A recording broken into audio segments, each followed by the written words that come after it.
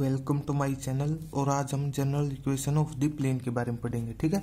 जैसे last part में बात कर रही थी कि general equation of the plane कुछ इस तरीके से, ठीक है ना? A x plus b y plus c z d के बराबर, इस तरीके से, ठीक है ना? अब इस चीज़ को प्रूव करना हमें, ठीक है ना? किस तरीके से? बस प्रूफ के लिए क्या करना पड़ेगा? सबसे पहले, ठीक है ना? दो पॉइंट लिए, कुछ इस तरीके से। लाइन पर, जैसे इस तरीके से मान लो कोई पी और क्यू दो पॉइंट ले लिए, ठीक है ना? क्यों? क्योंकि प्लेन की कंडीशन थी कि प्लेन एक सरफेस है। सही बात है। और सरफेस बनेगा इनफाइनाइट लाइनों से मिलकर। ये पहले हम सीख चुके हैं। ठीक है ना? बस दो पॉइंट लिए। तो मतलब कहने का मतलब क्या कि जो ये लाइन सेगमेंट है, कहाँ पर है? प्लेन पर है। ठीक है? और जिस प्लेन की इक्वेशन कुछ इस तरीके से रहेगी। ठीक है? तो लेट क्या किया कि दो पी और क्यू दो पॉइंट मान लिए, जिसके कोऑर्डिनेट कुछ इस तरीके से। ठीक है? कुछ इस तरीके से कोऑर्डिनेट मान लिए। ठीक है ना? ये कहाँ से है ये कोऑर्डिनेट ओरिजिन से। सही बात है ना? जैसे इस तरीके से मान लिए। ठीक है ना? तो कहने का मतलब कुछ इस तरीके से है। ठीक है? तो यहाँ पर ओरिजिन ओ पॉइंट इस तरीके से यहाँ पर मान लो एक्स है वाई है जेड है। सही बात है क्यों? क्योंकि जो ये दोनों पॉइंट है कहाँ पर है? थ्री डी के अंदर। ये पता होना चाहिए हमें। जो इक्वेशन ऑफ़ ए प्लेन है, इसी का दूसरा नाम ये भी तो था ना? इक्वेशन ऑफ़ ए लाइन ठीक है ना? कहाँ पर? थ्री या फिर स्पेस के अंदर, ये हम पहले सीख चुके हैं, ठीक है ना, इस वजह से। तो चॉइस यहाँ पर एक्स मान लो वाई जेड कहीं पर भी मान सकते हो, क्यों? थ्री की ये कंडीशन थी कि तीन एक्सिस हो कौन कौन सी? एक्स वाई जेड और तीनों एक दूसरे के साथ म्यूचुअली मतलब आपस में परपेंडिकुलर हो। सही बात है। तो इस तरीके से तीनों एक दूसरे के साथ परपेंडिकुलर है। जेड यहाँ पर नहीं है। जेड इस तरीके से परपेंडिकुलर है। ठीक है? तो बस दो पॉइंट माननी, ठीक है, इस तरीके से। ठीक है? इसके बाद क्या करना है? बस एक तीसरा पॉइंट आर मान लो, कुछ इस तरीके से। और ये आर इस लाइन सेगमेंट को लेमडा रेशो वन में कट कर रहा है। ठीक है ना? तो लेट क्या किया कि जो ये आर पॉइंट है, ठीक है ना? कट कर रहा है किसको? कट का मतलब डिवाइड किसको? पी क्यू लाइन सेगमेंट को। पी क्यू लाइन सेगमेंट को कट कर रहा है डिवाइड कर रहा है। ठीक है ना? इस तरीके से पी क्यू लाइन सेगमेंट को। किस रेशो में? In ratio lambda ratio one या फिर के रेशो वन मान लो, वो चॉइस है। क्यों? हमें थोड़ी नहीं पता ये किस रेशो में कट कर रहा है। सही बात है। इस तरीके से सोचना है, ठीक है? तो बस इसके बाद जैसे अब दो पॉइंट हैं पी और क्यू कहाँ पर है? इस लाइन पर। और ये लाइन कहाँ पर है? प्लेन के अंदर। देख लो इनफाइनाइट लाइनों में से उन इनफाइनाइटों में से कोई एक लाइन इस तरीके से मान ली। और ये लाइन कहाँ पर है? प्लेन पर। और किसी लाइन के प्लेन के ऊपर होने का मतलब क्या है? वो लाइन उसकी इक्वेशन को सेटिस्फाई करेगी। सही बात है। अब इक्वेशन ऑफ़ लाइन तो है नहीं। तो पॉइंट है। पॉइंट भी तो लाइन पर है। इस बात का मतलब पॉइंट भी तो पॉइंट भी तो लाई कर रहे हैं। कहाँ पर पॉइंट लाई कर रहे हैं? प्लेन के अंदर। देख लो। ये जैसे ये सीट ऑफ़ पेपर यही है प्लेन सीधी सी बात है। ठीक है ना? तो वहाँ देख लो पी और क्यू दोनों है। सही बात है। तो इस बात का मतलब कि कोई भी चीज़, ठीक है ना? किसी दूसरे पर होने का मतलब क्या है? उसकी इक्वेशन को सेटिस्फाई करेगा। वो यहाँ पर पॉइंट भी है लाइन भी है। इस तरीके से थोड़ा सोचना है। सही बात है। तो बस तो अगर यहाँ पर सेटिस्फाई इक्वेशन को सेटिस्फाई करेंगे तो पुट कर लो। इसी चीज़ को। सही बात है कि पी और क्यू लाई है।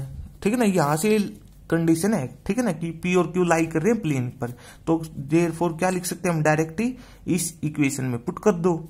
सही बात है। इसकी प्लेन की इक्वेशन को सेटिस्फाई करेगा। इस तरीके से सोचना है। सही बात है। तो एक बार एक्स की जगह एक्स वन वाई की जगह वाई वन जेड की जगह जेड वन ठीक है? इतना सोचना है आप पर, तीन वेरिएबल कौन कौन से हैं? एक्स वाई जेड बस ये काम की चीज़ है। ए बी सी क्या थे? डायरेक्शन रेशो और डी क्या है? कोई कॉन्स्टेंट ठीक है? तो बस पुट करो एक्स की जगह एक्स वन वाई की जगह वाई वन और जेड की जगह इस तरीके से। ठीक है? इस तरीके से। ठीक है ना? डी के बराबर। सही बात है। एक बार इसी तरीके से तो एक बार क्यू के लिए पुट कर लो। क्यू भी तो क्यू भी तो प्लेन पर है। सही बात है तो क्यू भी सेटिस्फाई करेगा इसको? तो एक बार इस तरीके से एक्स टू वाई की जगह वाई टू सही बात है, इस तरीके जेड की जगह जेड टू पुट कर दो, ठीक है? और डी के बराबर, इस तरीके से। हाँ चॉइस यहाँ पर इस डी को इस तरीके से लिख सकते हो। वो चॉइस रहेगी। क्यों? क्योंकि डी है कोई कॉन्स्टेंट उसको लेफ़्ट हैंड साइड लिखो या फिर राइट हैंड साइड ठीक है? वो चॉइस रहेगी। ठीक है? और नॉर्मली हम राइट हैंड साइड लिख के चलते हैं, ताकि कंफ्यूजन ना हो कि ए बी सी तो डायरेक्शन रेसो है। और एक और काम की बात, जो ये ए बी सी कह रही है, हम डायरेक्शन रेसो ठीक है ना? इसको इस तरीके से डिफाइन कर सकते हो इस बात को कि डायरेक्शन रेसो तीन है। क्यों है तीन? ये बात बताओ, क्यों है तीन? क्योंकि तीन एक्सिस की बात हो रही है एक्स वाई जेड देख लो। एक्स वाई जेड की तीन एक्सिस की बात हो रही है। मतलब यहाँ से थ्री डी के अंदर तो तीन एक्सिस थी। तो तीन ही डायरेक्शन रेशियो होंगे, चार नहीं होंगे। थोड़ा सोचना बस।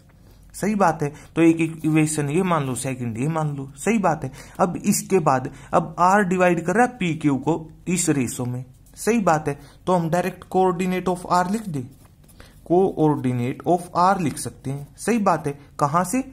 सेक्शन फॉर्मूला से। थोड़ा सोचना है और ये चीज़ हम पहले सीख चुके हैं। ठीक है ना? तो बस यहाँ पर डायरेक्ट सेक्शन फॉर्मूला का रिज़ल्ट चेक करेंगे। या फिर कहो रिज़ल्ट अप्लाई करेंगे और ये चीज़ चेक करनी हो तो इस कंसेप्ट से सेक्शन फॉर्मूला कंसेप्ट से सीख भी सकते हो प्लेलिस्ट से। ठीक है? तो बस क्या करो कोऑर्डिनेट ऑफ़ आर डायरेक्ट लिखने का क्या तरीका बताया था? आर के डायरेक्ट कोऑर्डिनेट लिखने का क्या तरीका था? पहली बात तो कोऑर्डिनेट को सिंपली डिफाइन करना अपनी लैंग्वेज में कि ये डिस्टेंस है अपनी अपनी एक्सिस पर कहाँ से ओरिजिन से। ठीक है? तो बस डायरेक्ट ट्रिक अप्लाई कर दो। क्या कहा था? कि क्रॉस मल्टीप्लाई करनी है। सबसे पहले एक्स वाले डिस्टेंसों की। सही बात है, क्यों? क्या है? X two y two z two इस तरीके से। ठीक है? तो क्रॉस मल्टीप्लाई एक्स वालों की एक्स वाले डिस्टेंसों की तो लेमडा इंटू एक्स टू लिख दो डायरेक्टली सही बात है। और क्रॉस मल्टीप्लाई वन की एक्स वन के साथ। इस तरीके से सोचना है, इस तरीके से। एक्स वन इंटू वन करोगे तो एक्स वन और डिवाइड में रेशो का सम आएगा। क्या है रेशो का सम लेमडा प्लस वन इस तरीके से। थोड़ा सोचना है, सही बात है, पहला आ चुका है कोऑर्डिनेट अब आर के कोऑर्डिनेट भी तो तीन आएँगे। सही बात है। क्यों आएँगे तीन? क्योंकि आर भी तो इसी प्लेन पर है। सही बात है। प्लेन को या फिर ये बात को स्पेस के अंदर थोड़ा सोचना है। ठीक है? तो आर की भी तीन वैल्यू आएँगी। जैसे तीन डिस्टेंस आएँगे, वो किस तरीके से डिफाइन करना चाहते इस बात को वो चॉइस रहेगी। ठीक है? तो बस क्रॉस मल्टीप्लाई अब की बार वाई वालों की। वाई पर, इस वाई टू का मतलब क्या है? वाई एक्सिस पर डिस्टेंस कहाँ से? इस वाली ज़ीरो से। सही बात है। और ये वाई वन तो लेमडा इंटू वाई टू इस तरीके से। सही बात है। प्लस का साइन और एक बार वन की मल्टीप्लाई वाई वन के साथ तो वाई वन रहेगी। और नीचे सम आएगा।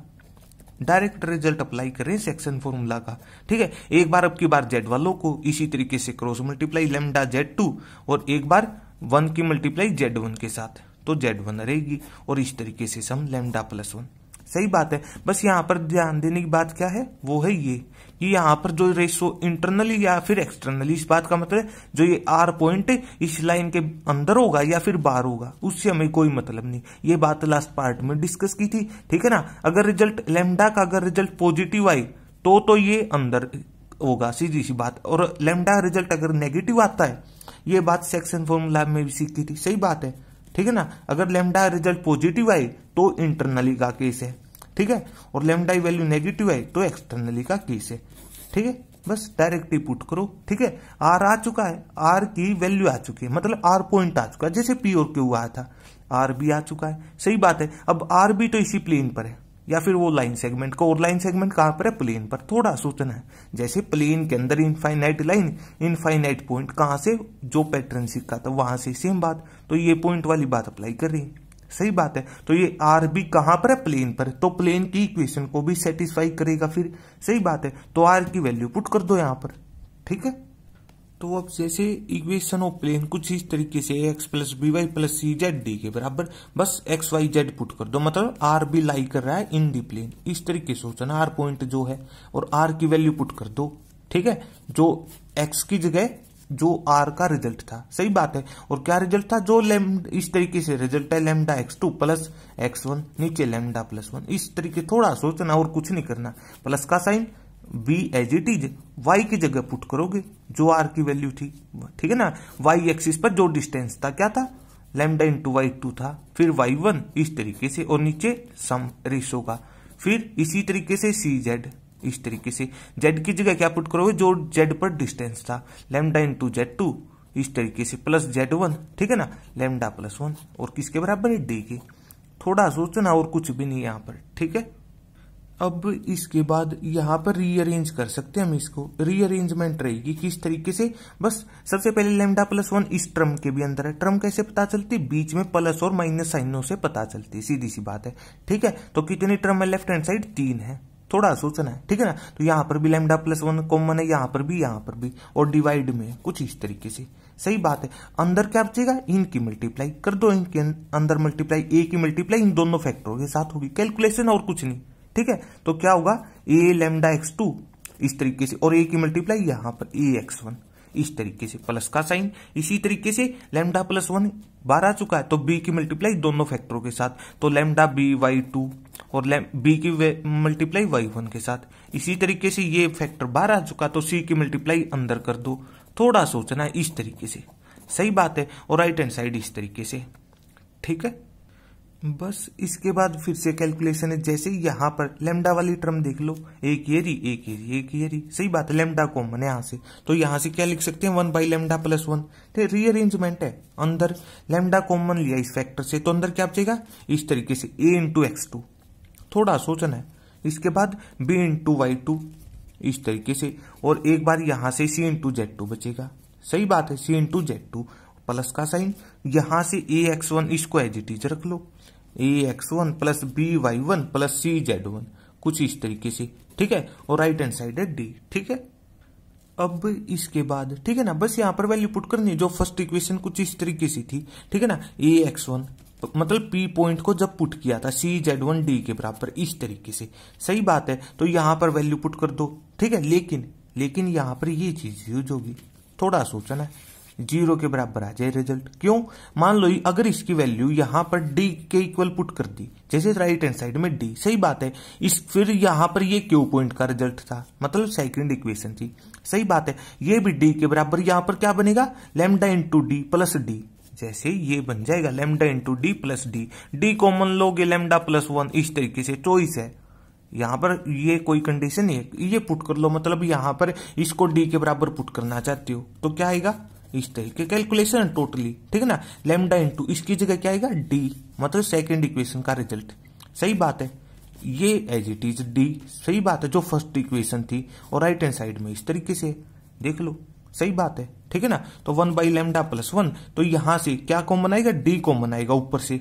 सही बात है, यहाँ पर बचेगा लेमडा और यहाँ से डी कॉमन लोगे तो इस तरीके से वन इस तरीके से। सही बात है डी से डी कैंसिल हो जाएगा। डी से डी कैंसिल हो जाएगा, ठीक है ना? एक और काम की बात यही, पर कि दोनों साइड सेम चीज़ हो, बराबर हो डिवाइड कर सकते हो डायरेक्ट लेकिन काम की चीज़ क्या जब कॉन्स्टेंट हो, ठीक है ना? ये चीज़ अब वैसे हम बार बार भी सीख चुके हैं, ठीक है ना? इसका एक सिंपल सा एग्जांपल ले लो, ये था एग्जांपल सही बात X square is equal to X अगर यहाँ पर एक्स से एक पावर डायरेक्ट कर दी कट कर दी तो एक्स का रिज़ल्ट आएगा वन लेकिन ये चीज़ है गलत। क्यों? इसी को सोल्व करने का दूसरा तरीका ये भी तो है। इसको लेफ़्ट हैंड साइड लेके आओ। सही बात है। और यहाँ से एक्स कॉमन लोगे कुछ इस तरीके से। सही बात है। और दो फैक्टरों की मल्टीप्लाई ज़ीरो कब आएगी ज़ीरो या तो पहली चीज़ ज़ीरो या फिर दूसरी चीज़ ज़ीरो सही बात है। दो केस बनेंगे। और यहाँ से इस तरीके से। तो एक्स की वैल्यू ज़ीरो और वन दो पॉसिबल है। क्यों? ये चीज़ कहाँ से डिफाइन करोगे? यहाँ से कि मैक्सिमम पावर जितनी हो। ठीक है ना? इक्वेशन के अंदर वेरिएबल की जितनी मैक्सिमम पावर हो, उतने उसके आंसर होंगे, या फिर रूट को, वो चॉइस है। तो दो पावर है, मैक्सिमम से मतलब है तो दो वैल्यू आएँगी। थोड़ा सोचना है। हाँ यहाँ पर डी से डी कट कर सकते हो, ठीक है ना? क्यों? क्योंकि हमें पहले से पता है, ये कुछ कांस्टेंट वैल्यू होगी। ये कुछ कांस्टेंट वैल्यू होगी मतलब वेरिएबल नहीं है। ये बात कहाँ पर अप्लाई करोगे? वेरिएबल के केस में। हमें थोड़ी पता है एक्स का रिज़ल्ट कितना है। वो तो सोल्व करने के बाद आए यहाँ पर। सही बात है। इस तरीके थोड़ा सोचना है, ठीक है? तो यहाँ पर इससे कैंसिल सही बात है। तो यहाँ पर क्रॉस यहाँ पर क्या बचेगा? वन क्रॉस मल्टीप्लाई कर दो। लेमडा प्लस वन इस तरीके से ये चीज़ लेमडा प्लस वन सही बात है। क्योंकि ये क्रॉस मल्टीप्लाई यहाँ पर क्रॉस मल्टीप्लाई क्यों की मतलब देख लो सेम फैक्टर है कट कर सकते थे। नहीं कर सकते। क्यों? क्योंकि रेसो मानना था हमने लेमडा रेसो वन सही बात है, इस बात का मतलब है लेमडा वेरिएबल हमें थोड़ी नहीं पता है किस रेसो में कट कर दें, थोड़ा सोचना है तो यहाँ पर डायरेक्ट कट मत कर देना इस वजह से, ठीक है? तो बस यहाँ पर वन से वन कैंसिल हो जाएगा सेम चीज़ है कॉन्स्टेंट है तो लेमडा लेमडा बराबर है, और यही चीज़ प्रूव करनी थी, सही बात है, ठीक है ना, इस तरीके से, और नॉर्मली हम जैसे right hand side zero prove करते हैं, ठीक है ना मतलब या फिर ये चीज़ है, और ज़ीरो कब आ जाएगा रिज़ल्ट जब इसका नाम कुछ इस तरीके से लेके चलो। मतलब इस राइट हैंड साइड को ज़ीरो बना दो यहाँ पर कुछ इस तरीके से। मतलब जो इक्वेशन ऑफ़ प्लेन इस तरीके से लिख लो। लेफ़्ट हैंड साइड में डी दे दो तो राइट हैंड साइड मतलब फिर वहाँ पर रिज़ल्ट ज़ीरो आ जाएगा। कहने का ये मतलब वो चॉइस है किस तरीके से प्रूव करना चाहते हो। थोड़ा सोचना है, ठीक है? तो इस तरीके से ये है इक्वेशन ऑफ़ प्लेन ठीक है ना? इक्वेशन ऑफ़ प्लेन कुछ इस तरीके से रहेगी। बस यहाँ पर पता होना चाहिए एक्स वाई जेड से पॉइंट बनना है। पॉइंट बनेगा एक्स, वाई, जेड, सी। सही बात है, A, B, C direction ratio है, डी कोई कॉन्स्टेंट है। इतना सोचना है, इस तरीके से प्रूफ रहेगा प्रूफ रहेगा, ठीक है? अगर आपको मेरी वीडियो अच्छी लगी तो इसको लाइक कीजिए और मेरे चैनल को सब्सक्राइब कीजिए। तब तक के लिए थैंक यू।